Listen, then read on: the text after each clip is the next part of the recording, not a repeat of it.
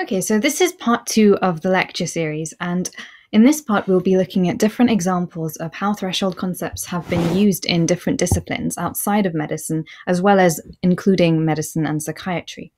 So let's start with a question. And usually, when we do this in the room, it's really fun because it's quite contentious and divisive, the answer to this question. So we have two mugs. Now, in both of them, we add, we have boiling water and a tea bag. Now, in the first mug, we add milk right away. In mug two, we wait five minutes before adding about 30 mils of milk. At the end, which of the teacups are cooler? Which has the, the colder temperature tea? So um, I'd like you to just pause and have a think. Maybe think to yourself, which one would it be? And honestly, I'm now going to reveal the answer. It's actually mug two. So when we wait and add milk, it's actually it produces a much cooler tea. Now, this is this often blows students' minds because it seems quite counterintuitive. You might associate the idea of adding cold milk straight away with producing the colder teacup, but actually it's it's cooler when you wait a little bit. Now, there's a few people who think this is a trick question and that both answers are correct, but I assure you that there is not, and mug 2 is the colder tea. So this is the idea of the temperature gradient.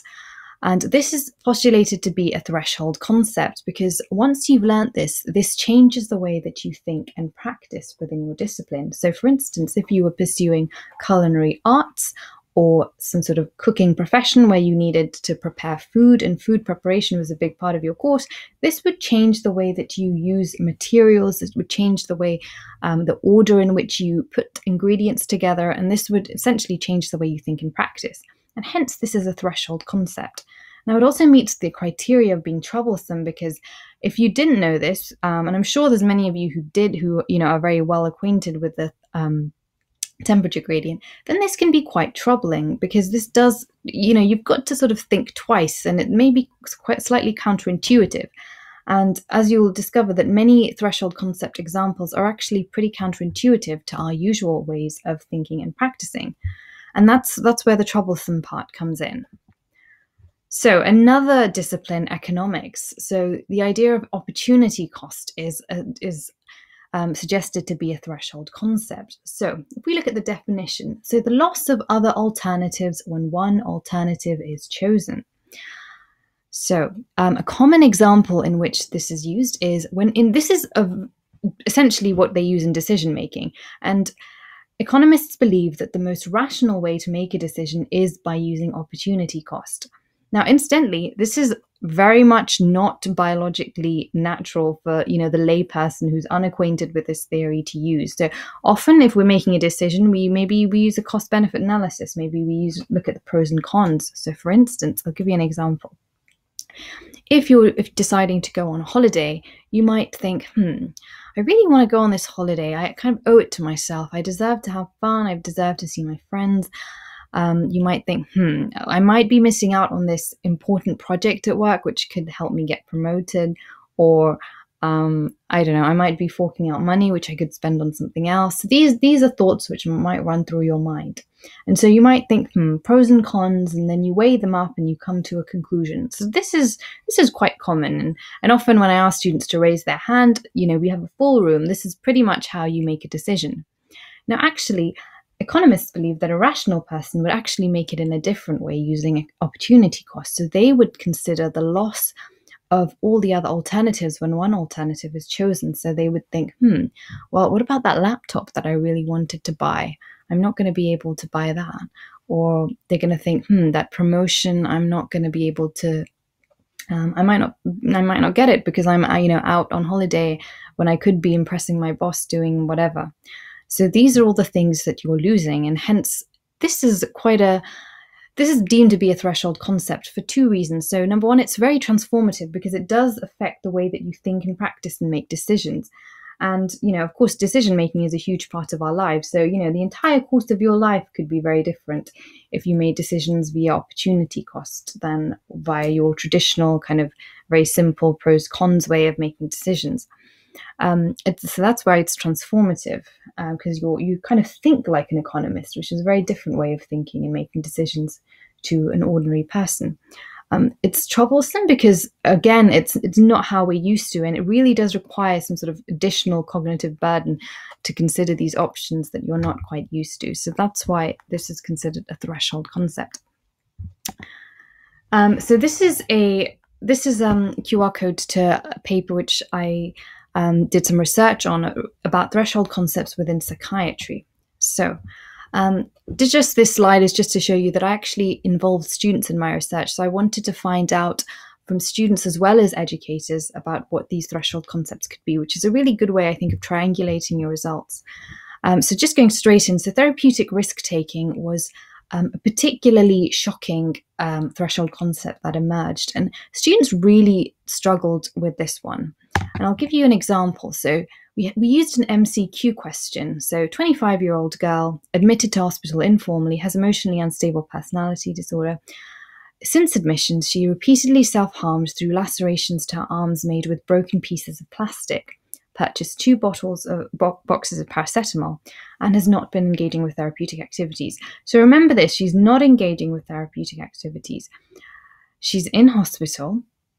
So, bearing this in mind, we ask students how they would manage this patient. You know, what's the most appropriate thing to do? And we consulted with psychiatrists when devising this question to ensure that it's kind of, you know, what it would the optimum answer. And we found that none of the students thought it was appropriate to discharge the patient back to the care of the community. Instead, the vast majority thought to detain under Section 2 of the Mental Health Act, which is extraordinary considering that that's quite a huge step to take, you know, in this case, and it's completely inappropriate to do that.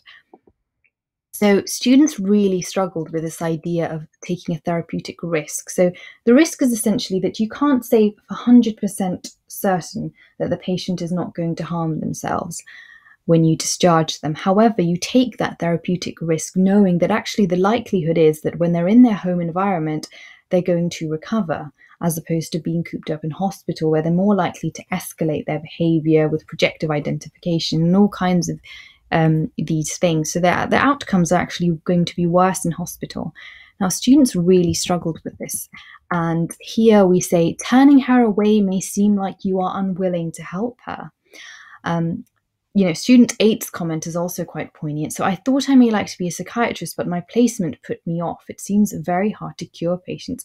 Now, this I thought was particularly poignant because the idea that you know curing patients you know it, it's you've completely sort of not understood the idea of recovery and management of, of psychiatric disorders but also it, it put them off the entire profession and i think this is this is what happens when you, you fail to understand the th- threshold concept it can actually lead you to abort the learning process and kind of switch off altogether which is quite unfortunate so caring was also another part of it. So people often thought, you know, associate hospitals with a place of caregiving and home not, um, which is completely not true, considering that you know the community and being at home plays such a huge part in recovery and mental health.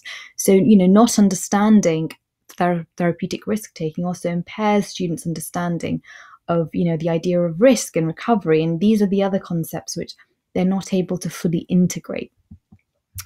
Um, diagnosis is another one. So this is the idea that when you're considering diagnoses in psychiatry, you're thinking about um, severity and severity of symptoms as opposed to diagnoses. So, you know, often, you know, I remember being in my third year of medical school when you have a diagnosis, this essentially informs your entire management.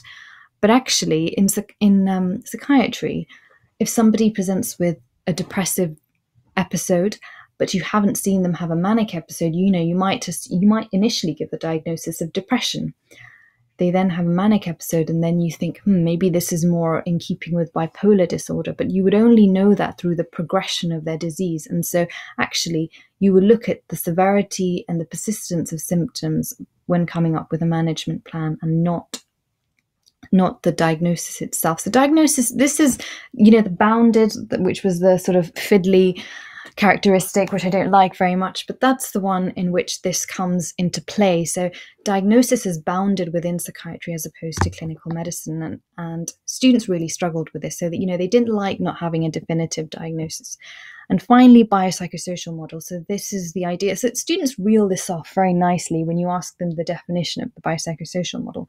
But we found that in psychiatry, they weren't actually asking the psycho and social questions because they felt that this wasn't part of their role and their remit.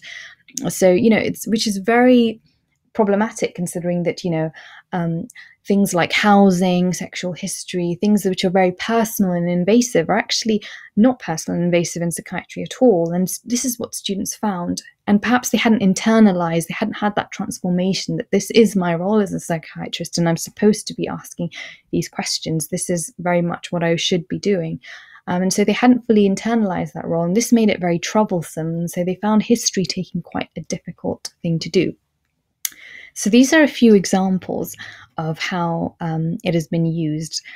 And now, finally, this last image just looks at all the different concepts and how they piece together. And here you can see the different links between several different concepts and several different smaller concepts. So this is the idea that it's very much integrated. Once you know one concept, you know, other smaller concepts suddenly come into play and it all kind of clicks. So next we'll be in the next part we'll be looking at the different things you can do once you once you've identified threshold concepts within a discipline.